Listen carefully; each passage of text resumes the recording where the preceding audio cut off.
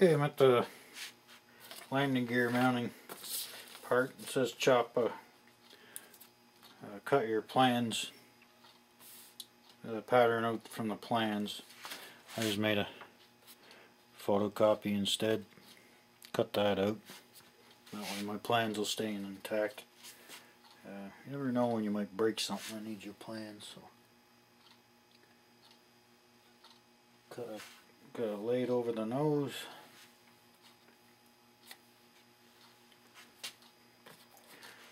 Take a pin and mark the location. Also going to mark the location of these two screws and that'll give me a idea because there's a slight angle rearward on this so and I get the little tiny pin mark there by my thumbnail. And then you can see the two on the bottom. And that's all you need for landing gear. I'll start by drilling that hole in the top.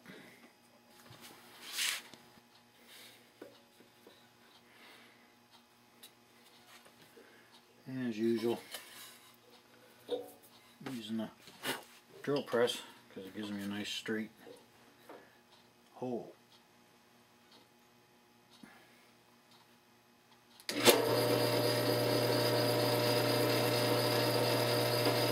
in slow let it cut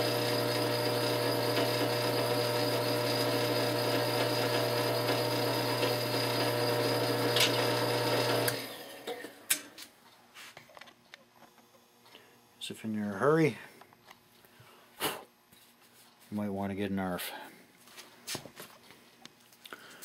Now with this little, uh, with these bends you got in the landing gear here, um, you're going to find when you uh, push that into the wood, due to that little curve there, this isn't going to want to go flush. So what I always do in those situations is take my X-Acto knife and I'll cut the bottom of the hole.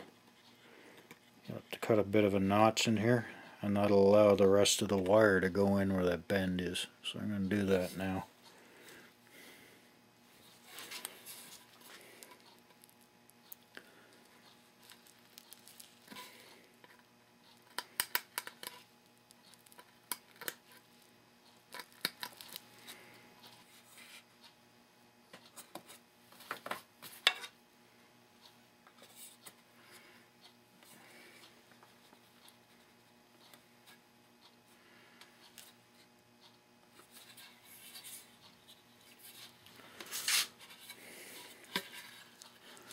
There you go.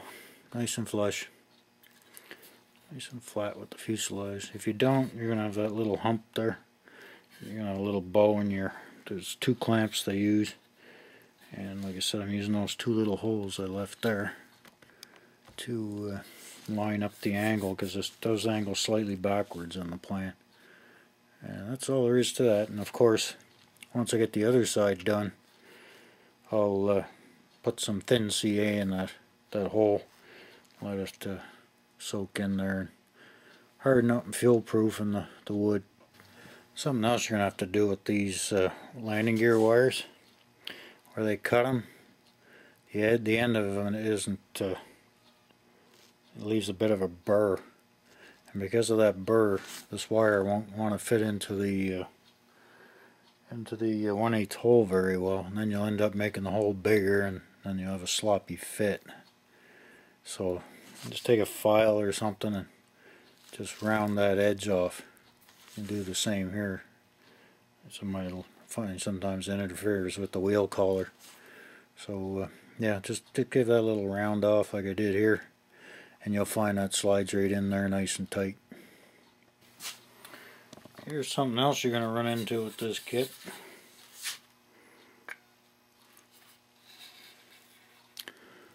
Landing gear bend is almost as long as the fuselage is wide so if you use the same hole they're going to run into each other so there's two ways you can go about that you can uh, drill another hole in front of the one that I would recommend going in front of. The uh, hole that the plans show. I guess you could even go behind it. Or all I'm going to do is cut this so both landing gears uh, mount the same hole. Because really, you know, all your strength for the gear is going to be in those two uh, clamps.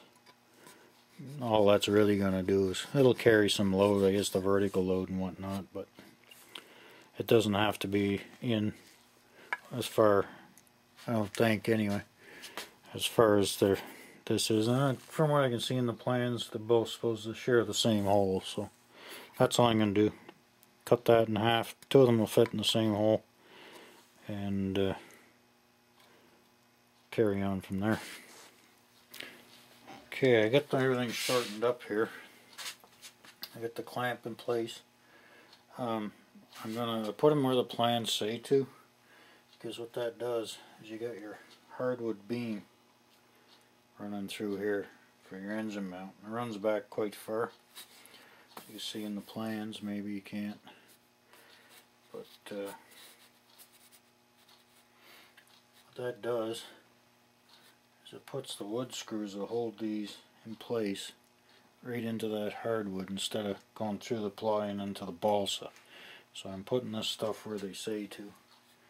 And uh, I did the same thing I did with a hole, like they even tell you in the plans. I just used a, a pin to mark where I was going to put this hole, which also puts the landing gear into that hardwood beam. And uh, I marked with a pin for this one as well. The top one I'll just get her like they show here. Just get it behind that uh, bend there. As long as you're on that hardwood beam, your screws will have something good to anchor into. So get the clamp on her. I'll just mark it off with a pencil. And uh, I also did was uh, just kind of made sure the gear lined up with the plan. You know, I kind of thought about swinging them forward, especially when I'm flying in the grass. It would appear that uh, for the tank that I'm going to be using, this is a uh, two ounce, but I'll be using a one and a half. It may interfere. Actually, looks like I got some room. Go well swing that landing gear forward. I know this is the wrong side and everything, but it'll be the same. Yeah. It'll be a smaller tank as well. Plus the tabs go on the top and bottom. I might just swing this gear forward. Making sure it's in the same area.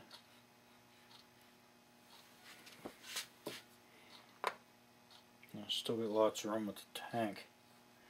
I think what they might want though. So I'm going to start off the tank lined up.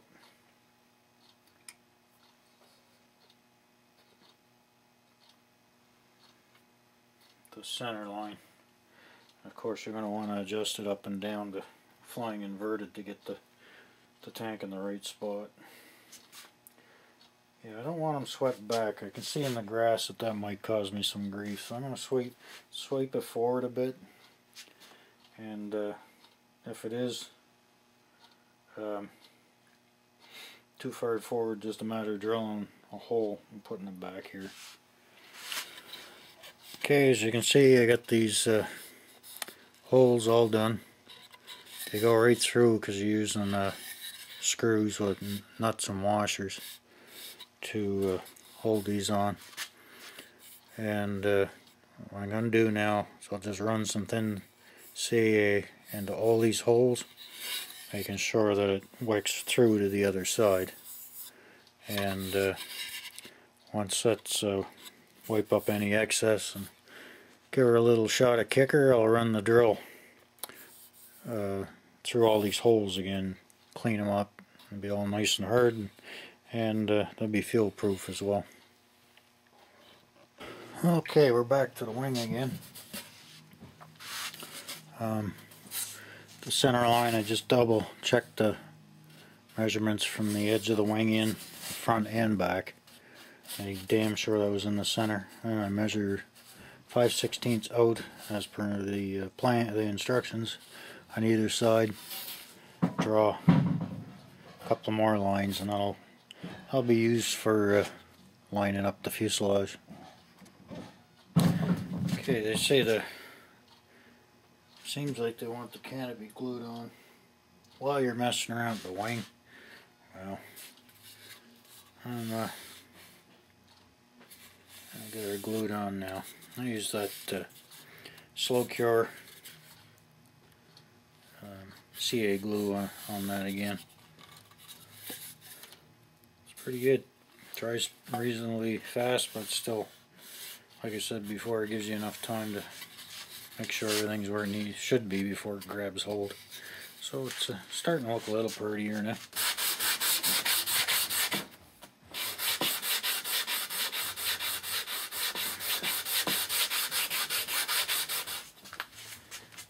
doing with the fuselage is I'm giving it that final sanding with the uh, I'm using 150 fresh 150 and the old the old uh, easy touch thing from Great Great Planes. These things are nice. Got that nice shape to them. You muckle onto them pretty good. So uh, once you put glue your wing in, as far as getting everything sanded nice and smooth, it's going to be really hard. You might end up dinging the wing and stuff while you're doing that. So uh, while you can still lay it down, dust everywhere. While you can still lay it down nice and flat, I give it that pretty much that final sanding now and uh, get all the nice rounded shape to the fuselage which I haven't done yet but I'm going to um, on the top make sure you know you don't round off where your stabilizer is going and where your vertical fin you want to leave a little flat spot there. And of course you'll be putting your offset after the uh, probably I think it starts around here. So you might want to measure and mark that up before you round her up too much. You don't want to be trying to glue your dorsal fin and vertical fin to the uh, a rounded uh, fuselage top but I got all this lined up. Nice and flat and smooth on the sides front's all good. And I'm just going to finish off this uh, little bit of sanding I got left in the plywood uh, doublers and uh, I'll start rounding things up. Okay. Got everything rounded up pretty nice here. And uh, again the top I uh, marked off where the fin starts and I left it flat just on the very top. And I let it go broad to flat till I got to the uh, tail here. As you can see this fellow's going to go in like that.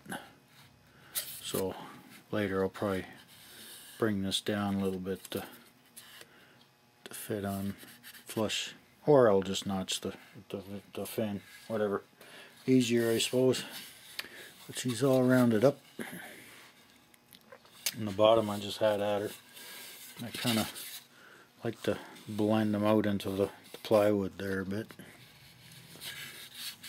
The front of the canopy I just leave that a little bit flat so it spreads and kind of blends in the, the front here. And later I'll just go over it with some loose sandpaper finish it all off after it's uh, assembled. so, but uh, most of it's done. I did the sides and everything. I did the nose as I said before.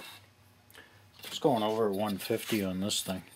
So I'm just going to do the wing now and once I got this uh, sanded up and smooth, like I say it's a lot easier getting a nice job on this now before you assemble it making sure you don't round off anything you're going to have to uh, glue the tail feathers or anything onto. And uh, then trying to sand it nice and smooth once it's together. Then you've got all your joints and everything to contend with. Not to mention the, how much easier it's going to be to ding things.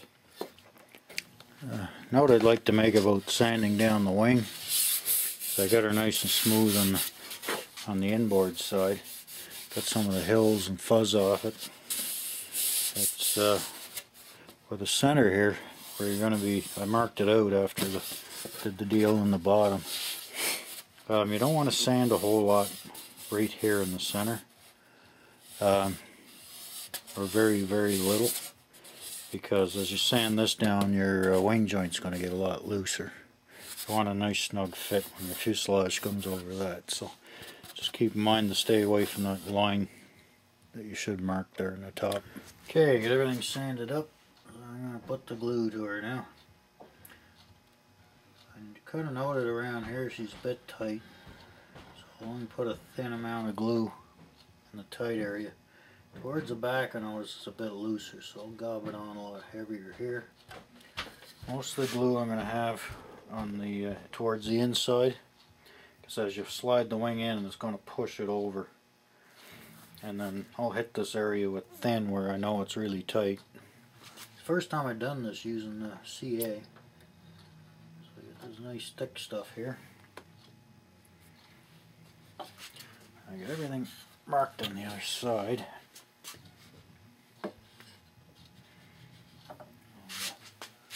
do the same thing here.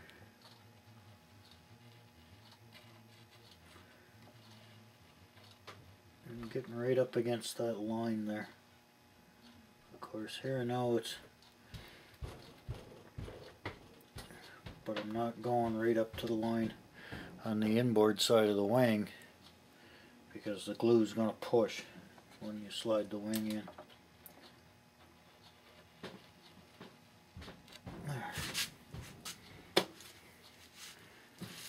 I'll be ready pretty quick with the uh, triangle there. Okay, get a fresh paper towel to wipe up the excess.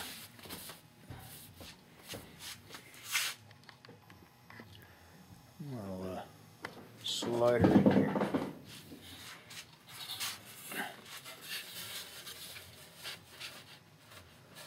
I'm going to rock it a little bit as I go in. Hey, and, and that's working well. It's uh, letting the glue work into the joint without pushing it all out of the way. And that actually worked really well. A lot better than I expected. Okay.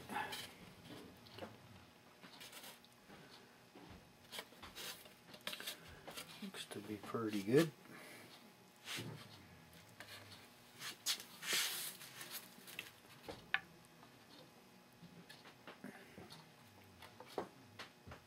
There. He's uh, pretty impressed with this Brodak kit. The material, I mean for a beginner's kit, first off, it's got just about everything you'd need to build the thing anyway. It's pretty good like that. Most of the hardware, in fact I think all the hardware except for the gas tank and engines here.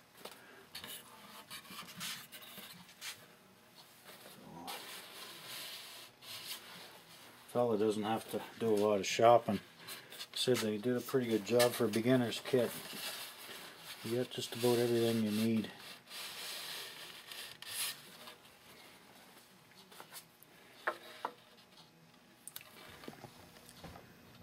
got the uh, initial bite on the CA. I, I, set up good enough that I didn't bother using kicker. Um, I've never glued a wing on this way before. Usually I use epoxy and I think even with the slow dry um, I'm off 64th of an inch on square, which is, I'm not going to lose sleep over it. Personally, I kind of like to have it perfect, but it's not a perfect world, so the hell with it. But uh, the glue did set up a little faster than I'm comfortable with for doing something like making sure your wing is square. So if I were to do this again, I had to try it, and with a you know, an inexpensive plane like this, let's do a little bit of experimenting. Um, doing it again, I'll just use the epoxy, and you got it gives you time to work. It's a little messier, but uh, I kind of for doing wings and stuff like that, stick with the epoxy. My opinion, anyway. Okay, the next I'm in the process of doing is. Uh, I always got these little gaps. So I'm holding the wing upright like this. I put a bead of that thick CA, the slow dry in there. And nice thing about it, it doesn't dry up right away. And it's creeping down into the gaps. So it's doing a pretty good job on, on that area. I'm still not using kicker because uh, I want it to soak down. And even my experience last night, I noticed even if you don't, uh, even you let the kicker vaporize, uh, evaporate and disappear, the damn stuff will still harden on it even if you can't smell it and it's dry. So, so that's all sinking in there real nice. Once it's in to the point where I think it'll stay put, I'll flip this around and do the other side. Okay, I uh, got the flaps out of the kit. They're not functional, you glue them right in. And they actually, the uh, slot, as you can see, keeps going here. And that's going to slide right in there with a little fitting. And just glue that on the trailing edge.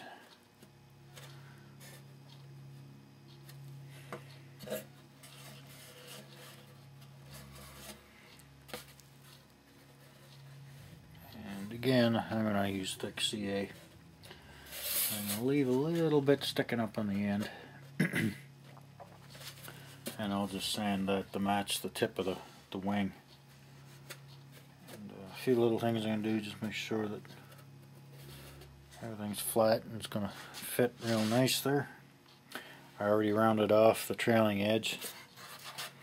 And I use the uh, long sanding rail to make sure this was nice and, and flat.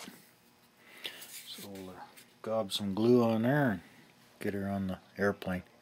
Got the flaps on her now and they uh, go inside that slot that was in the fuselage here. Of course then they just glue on solid and trailing edge. And I just uh, blended the tip. It's starting to starting to look like a Flite Streak now.